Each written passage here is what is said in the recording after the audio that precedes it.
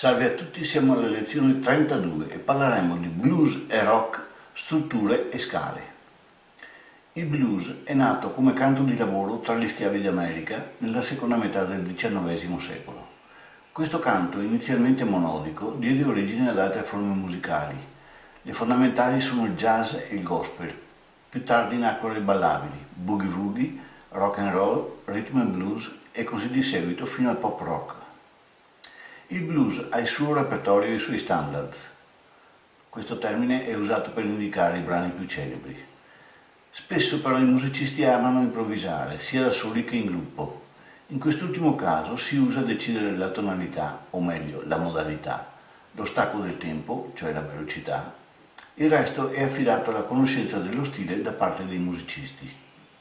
Il giro standard sul quale si improvvisa e che poi viene ripetuto a piacere è basato su 12 misure e gli accordi usati sono nella struttura più comune primo, quarto e quinto grado, tutti con la settima minore, praticamente una successione di accordi di settima di dominante. Questo uso reiterato degli accordi di settima dà l'impressione di un'evoluzione continua. La sospensione della risoluzione è ciò che caratterizza questo genere musicale. Nel prossimo esempio vedremo come è strutturato il giro in 12 misure. Usiamo come tonica il C, cioè il Do.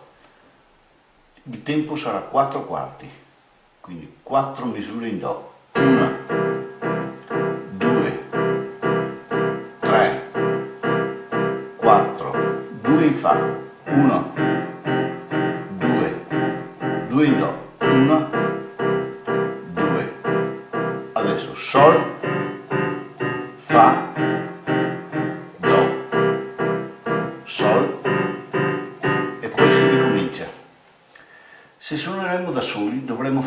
fare l'accompagnamento, la melodia e il ritmo. Se invece suoneremo in gruppo, le parti si potranno suddividere tra la sezione ritmica, batteria e contrabbasso, e i solisti, generalmente tromba, sax, eccetera. Mentre il pianoforte si incaricherà di armonizzare e di completare il tutto. Se suoniamo da soli, inoltre, la nostra mano sinistra dovrà sintetizzare le parti di batteria e di contrabbasso. Ci sono varie formule adatte allo scopo, sceglieremo quella più adatta alla nostra mano. Da tenere presente che le crome scritte dovranno essere suonate nello stile swing, la prima lunga e la seconda breve, come spiegato nel capitolo 3, lezione 3. I prossimi esercizi si dovranno sviluppare per le 12 misure previste dal giro come l'esempio precedente. Esercizio numero 139. Tempo 4 quarti, le note scritte sono crome. Quindi 1, 2, 3, 4,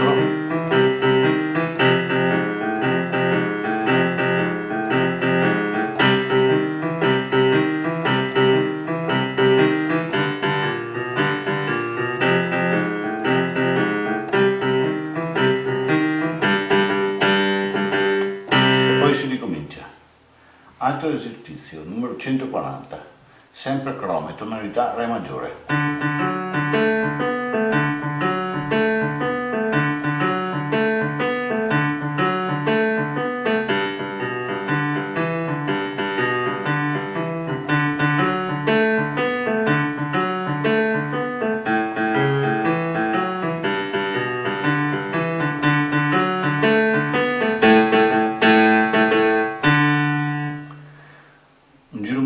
Facile, scritto in semi minimi, tonalità La maggiore. 1, 2, 3, 4, 5, 6,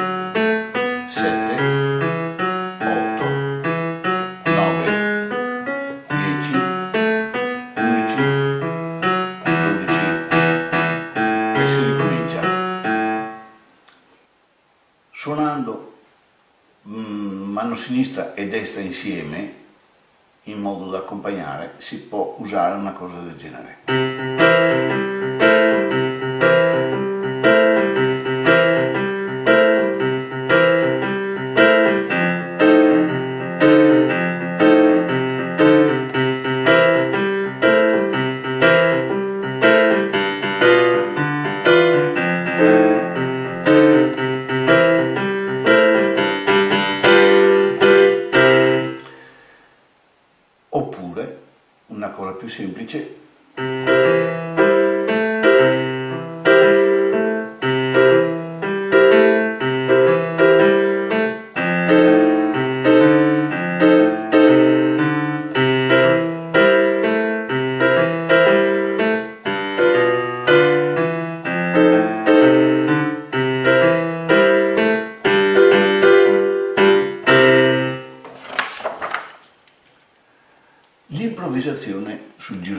Si fonda su una scala esafonica. Nell'esempio che segue la tonica è C, cioè Do, e le note con i bemolli sono chiamate blue notes.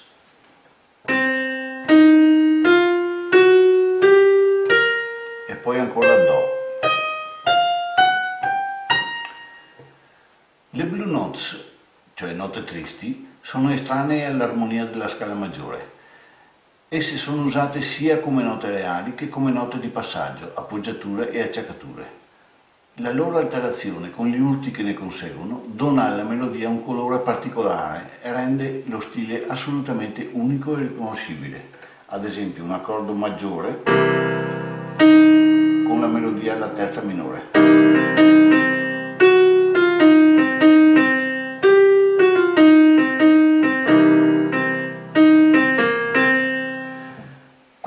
Scala però rimane il fondamento. In pratica si usano tutte le note della scala maggiore e in aggiunta le blue notes, cioè la scala maggiore con in più le blue notes.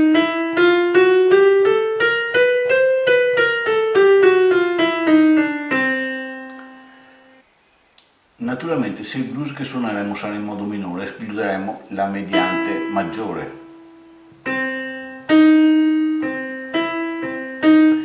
prima domanda che ci si pone a questo punto è se si debba cambiare scala quando si cambia l'accordo. Si può, ma non è indispensabile, perché in questa scala abbiamo già 10 suoni, mancano solo il primo diesis e il quinto diesis per avere l'intera scala cromatica.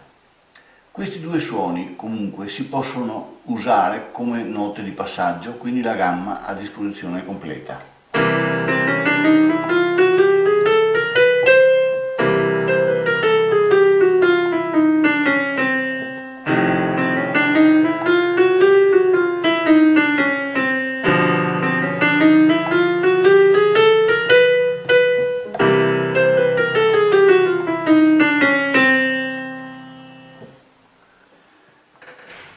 Parliamo di come costruire l'assolo.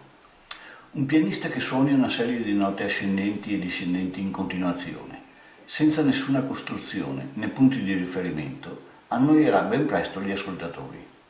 L'assolo, che costituisce il cardine dell'esecuzione, deve essere realizzato in modo da destare l'attenzione fin dall'inizio, proseguire creando punti di interesse particolari, ad esempio nei cambi d'accordo, per trovare il climax nel finale del giro.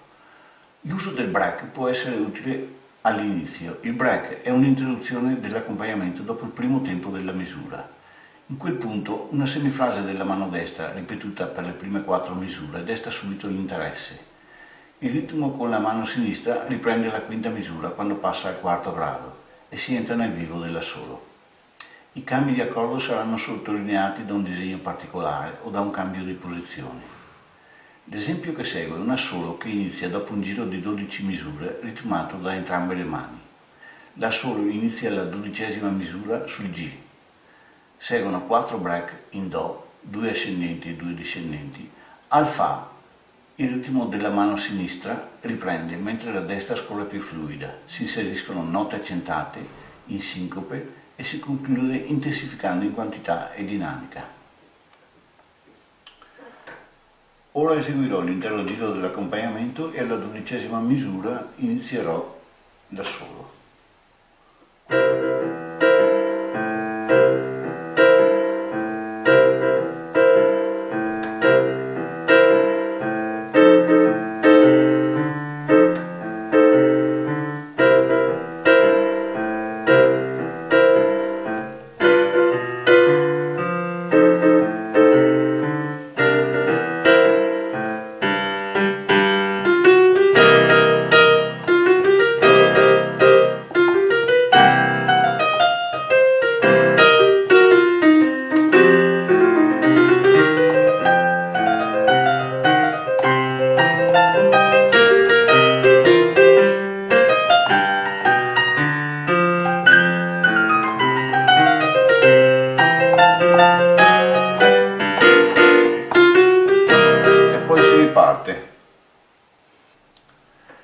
Quando inizieremo a improvvisare un assolo, imposteremo la velocità del metronomo a circa 92 al quarto.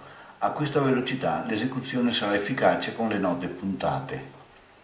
Quando saremo in grado di staccare un tempo più veloce, del tipo rock and roll, con metronomo compreso tra 160 e 200 al quarto, da solo si farà più rarefatto e incisivo, con meno note e molto ritmato. Le crome si potranno eseguire senza ineguaglianza. A quanti volessero approfondire questo stile consigliamo di ascoltare molte esecuzioni e di allargare il loro interesse al jazz. Fra i grandi nomi troviamo Scott Joplin, Fats Waller, Art Tatum, Bud Powell, Thelonious Monk, Errol Garner e Keith Jarrett. Grazie per avermi seguito e alla prossima lezione.